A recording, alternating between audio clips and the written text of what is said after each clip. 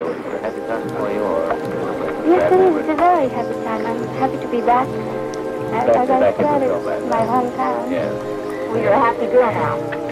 When do when do those London? Ah. yes, I'm, I'm, I'm much happier.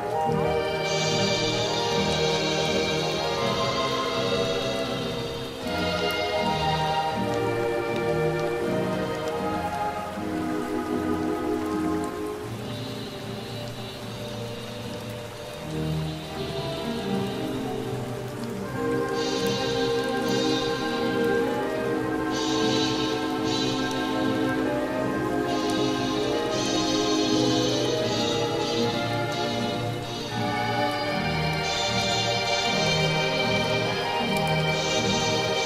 scared of me.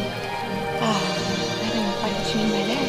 Don't let me fool you. I'm not. you know, it's interesting um, that people associate.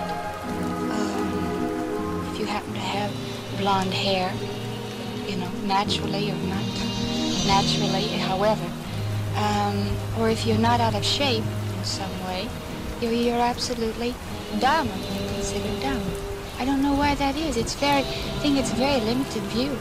Well, I mean, it doesn't matter what the person, um, they look like, what color hair they have, or if they uh, happen not to be out of shape. I mean, my times to come. Gravity catches up with all of us. Yes, um, this will be my home.